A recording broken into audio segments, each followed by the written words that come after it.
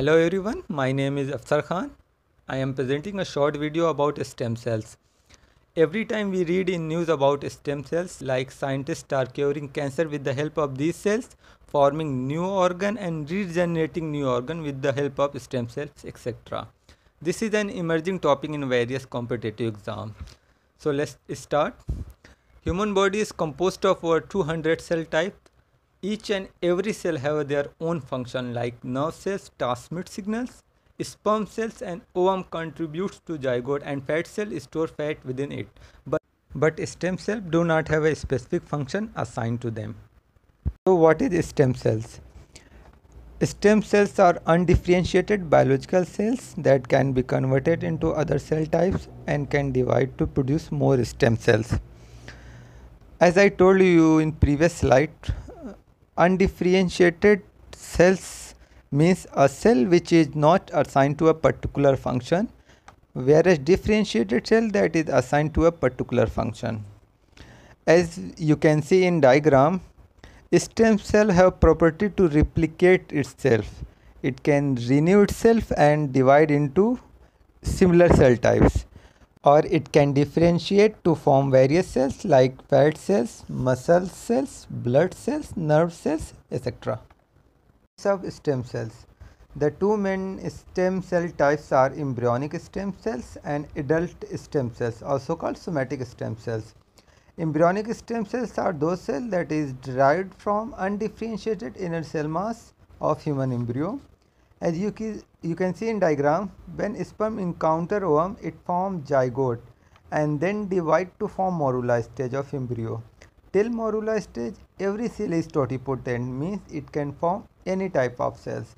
Then next stage is blastocyst after morula stage in which inner cell mass is present and these cells are embryonic stem cells which are pluripotent cells and coming to second type, adult stem cells are stem cells which maintain and repair in tissue in which they are found. They can be found in children as well adults.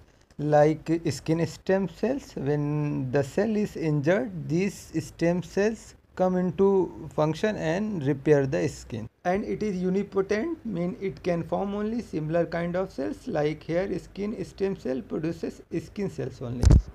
The most dynamic property of stem cell is its cell potency.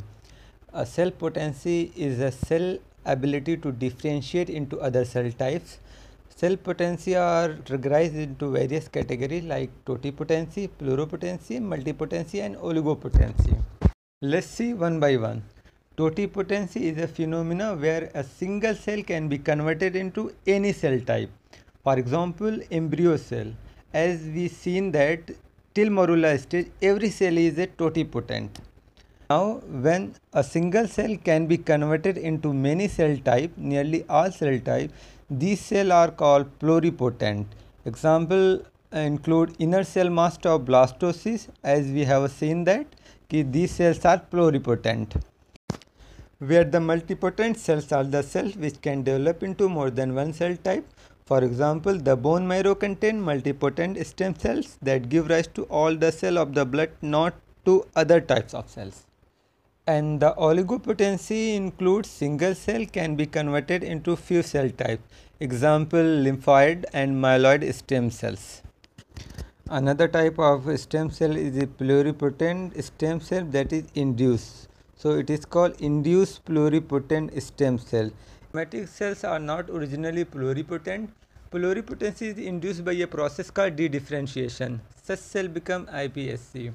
Here in diagram we can see that differentiated cell, any cell, any somatic cell which is already assigned to a function when induced by certain transcription factor coded by gene. That gene is called Yamanaka gene.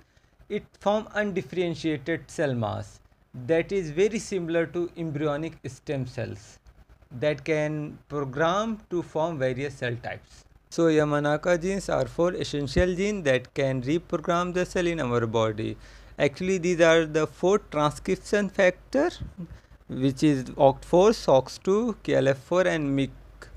These genes are named after uh, 2012 Nobel Prize winner Shinya Yamanaka who discovered it. Recently, Yamanaka gene was in news again. Scientists have found a stress factor called interleukin 6, which is IL-6, that may be responsible for reducing the efficiency of the Yamanaka gene. Application of stem cells are very wide that include whole organ manufacture as stem cell regenerate organ.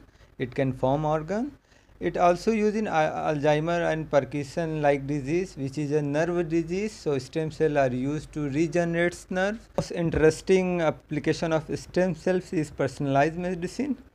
Every person have a different genetic material. So if a medicine is working best for a person may not work for others. So these stem cells are used to make personalized medicine that is individual used genetic material. These stem cells can be used to make personalized medicine which is based on individual genetic material and these are future of medicine.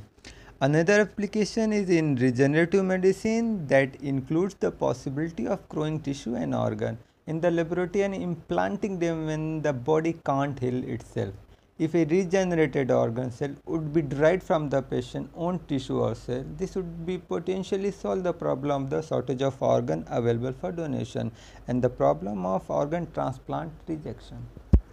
So that's it. We tried to cover all the aspect of stem cells. Thank you.